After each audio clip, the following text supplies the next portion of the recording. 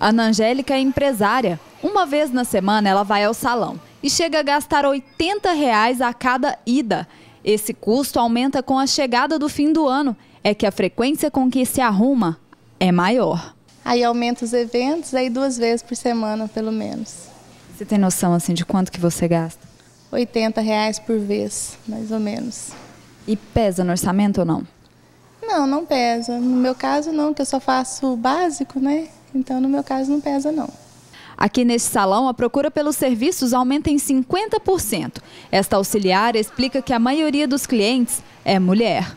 Além dos serviços tradicionais como unha, escova e cortes, as clientes também optam por retocar ou aplicar produtos químicos, como tintura ou mechas no cabelo. São mais serviços assim para manutenção, né? Raiz, que as clientes costumam procurar para para estarem bem nas festas de fim de ano. Então, raiz da química, escova, pé e mão, sobrancelha.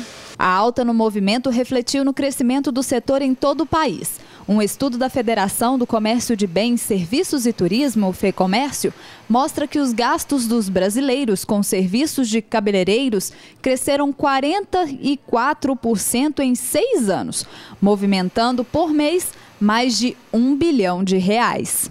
Para dar conta de tanto trabalho, a auxiliar diz que é preciso aumentar o tempo de trabalho das funcionárias. A gente tem um quadro de profissionais bem amplo, a gente consegue suprir.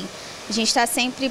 É meio complicado a gente é, contratar profissionais só para essa época do ano, porque a gente precisa de profissionais mais capacitados, que seguem a mesma linha de atendimento que a gente segue.